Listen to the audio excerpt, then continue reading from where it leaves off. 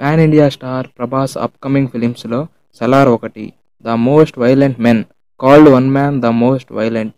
అంటే అత్యంత హింసాత్మకమైన పురుషులు ఒక వ్యక్తిని అత్యంత హింసాత్మకంగా పిలుస్తారు. అతనే సలార్.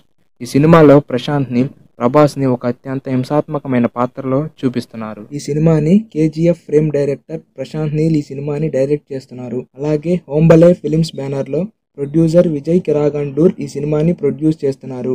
రవి బాస్రూర్ ఈ సినిమాకి మ్యూజిక్ కంపోజ్ చేస్తున్నారు. అలాగే భువన గౌడ ఈ సినిమాకి సినిమాటోగ్రఫీ చేస్తున్నారు.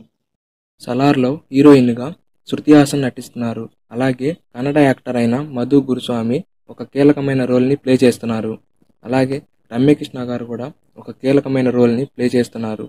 సలార్లో ప్రభాస్కి గాడ్ ఫాదర్ లాగా మెగాస్టార్ చిరంజీవి గారు నటిస్తున్నారని సోషల్ మీడియాలో రూమర్స్ వైరల్ అవుతున్నాయి.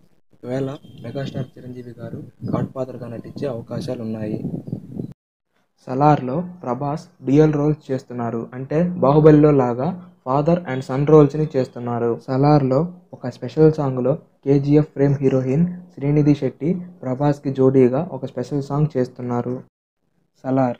ఈ సలార్ సినిమాని ప్రశాంత్ నీల్ ఫస్ట్ డైరెక్ట్ చేసిన ఉగ్రం సినిమాకి రీమేక్ అంటూ సోషల్ మీడియాలో చాలా వార్తలు వచ్చాయి కానీ మేకర్స్ ఇది ఉగ్రం సినిమా రీమేక్ కాదని ఇది ప్రభాస్ కోసం రాసుకున్న ప్రత్యేకమైన స్క్రిప్ట్ అంటూ మేకర్స్ కన్ఫర్మ్ చేశారు.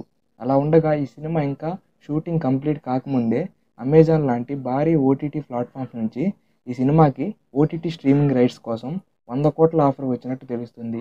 ఇంతవరకు ఇండియాలో ఏ సినిమాకి ఓటీటీ స్ట్రీమింగ్కి వంద కోట్ల ఆఫర్ రాలేదు.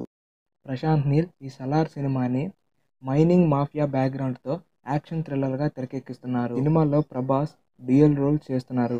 ఈ సినిమాని నూట యాభై కోట్లకు పైగా భారీ బడ్జెట్తో నిర్మిస్తున్నారు. ఈ సినిమా ఆల్రెడీ తెలంగాణలోని గోదావరి కనిలో ఫస్ట్ షెడ్యూల్ని కంప్లీట్ చేసుకుంది. సెకండ్ షెడ్యూల్ని హైదరాబాద్లో ప్లాన్ చేస్తున్నారు. ఈ సలార్ మూవీని తెలుగు కన్నడ భాషల్లో తెరకెక్కిస్తున్నారు. అలాగే హిందీ తమిళ్ మలయాళంలో డబ్ చేస్తున్నారు. ఈ సినిమాని వరల్డ్ వైడ్గా ఏప్రిల్ పద్నాలుగు రెండు వేల ఇరవై రెండులో లాంచ్ చేస్తున్నారు. ఈ సినిమాపై భారీ అంచనాలు ఉన్నాయి ఈ వీడియో మీకు నచ్చితే లైక్ చేయండి షేర్ చేయండి. ఇలాంటి మరిన్ని ఇన్ఫర్మేషన్ వీడియోస్ కోసం మన ఛానల్ని సబ్స్క్రైబ్ చేయండి. Thanks for watching.